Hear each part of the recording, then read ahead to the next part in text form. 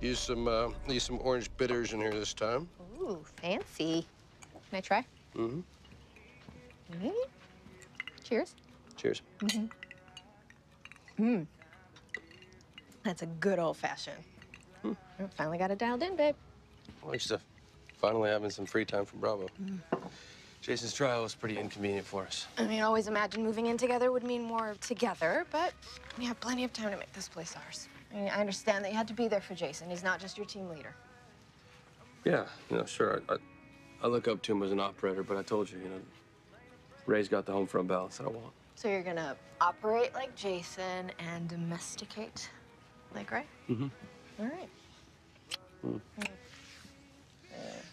All right, so back to the big plan here. We ply Dr. Waters and his wife with booze, so he'll put you on the curriculum committee. Well, hopefully my uh, track record in the English department will do that. Cocktails can't hurt. Neither will your uh, dazzling personality.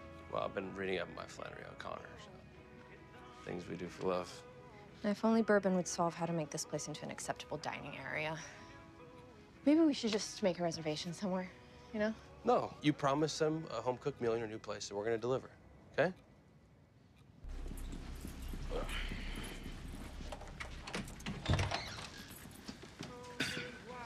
Oh, like what you done with the place?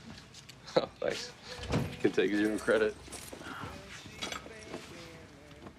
Hey, honey. Hey. Mwah. Hello, welcome. Hey, Come here. Come on, uh, make yourself at home. it's already kind of you to take me in. I don't need a five-star spread. Oh, well, you're lucky because I don't usually make one.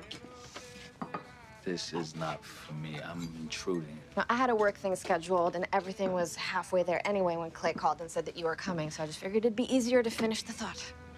Plus, it's better that our first guest should be family, right? I don't want to put you guys out. You're not putting us out. Plus, I get to test out the menu on you, work out the kinks. but you should maybe call Naima and tell her that you're here. She, she must be worried. Yeah, she probably is. I'll give her a call.